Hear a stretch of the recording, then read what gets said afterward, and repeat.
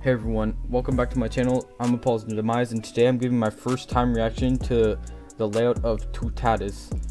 So basically, yesterday, Parc Asterix released the very first POV of Toutatis, their brand new Intamin multi-launch roller coaster, opening this year.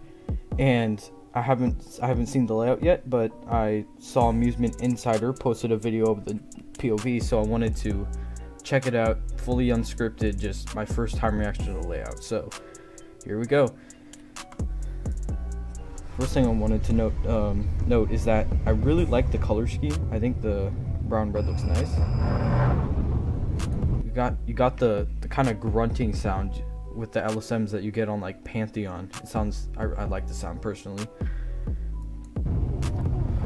That inversion looks weird. So you, you don't have the best pacing to start off, but I feel like that's better for the hang time of the little cutback thing. Then again, with the that hill looks. Oh wow, you go really high up on that top hat. Oh my, bro, you go so fast over that hill. I, I feel like, like pan that's like Pantheon on steroids. That that that looked unnatural. That didn't look real. That backwards airtime. Oh wow. Okay, and then you go into a, a spike. Doesn't look as tall as Pantheon's. Correct me if I'm wrong, but yeah, it still looks pretty awesome but maybe I'd have to guess like maybe a 20 foot difference. Okay, and of course is gonna be even crazier. It just looks fake. Okay, this top hat looks crazy. Look at that view, bro. That's that's awesome. see if I can get my. Yeah, that looks crazy, bro. Okay. So I think yeah, there's there's trims on the top hat, which might slow down the pacing a bit see? Oh my gosh. No, it, it definitely does not. that stall looks pretty awesome. It's not as long as the one on the other new rides coming out, but still looks great.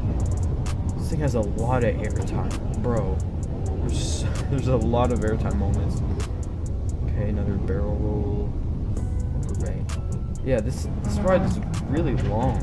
Like, it packs a lot more in. Wait, I wanna... Look, right, like right here. I, I just, I can't get over how strong the airtime at this, the swing launch looks. Like, it, it looks, it just looks insane. It, I don't know if it's just like the destabilized camera, but it, like, you're seeing that. Wait, let me. And so I have to say, the pacing on this ride looks absolutely It fixes all the issues Pantheon's pacing had. It's all the elements like look like they hit really well. They look really fast, like especially these turns and the stall. I mean, the stall's a bit slow, but it's kind of elevated, so can see why. And slow pacing on stalls kind of helps.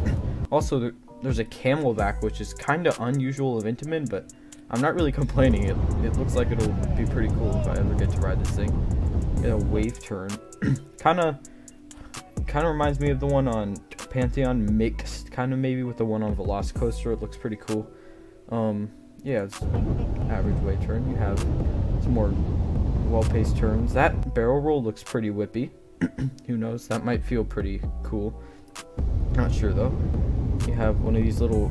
That kind of reminds me of the the RMC overbanks that they do a lot. They, like Steel Vengeance has them and see in their newer creations, Intamin's taking a lot of inspiration from RMC with the stalls and like yeah, this right here, it reminds me of Intamin or uh, RMC. So yeah, the theming looks great. Um, look at the queue line. Wow, that's pretty cool. Yeah, so this ride looks amazing. In my opinion, it looks like the best coaster coming out this year.